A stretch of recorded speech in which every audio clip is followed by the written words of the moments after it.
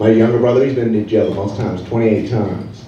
Yeah, he got arrested in December. I call my mom, I'm like, did you hear David got arrested? She goes, yeah, he decided to go home for the holidays.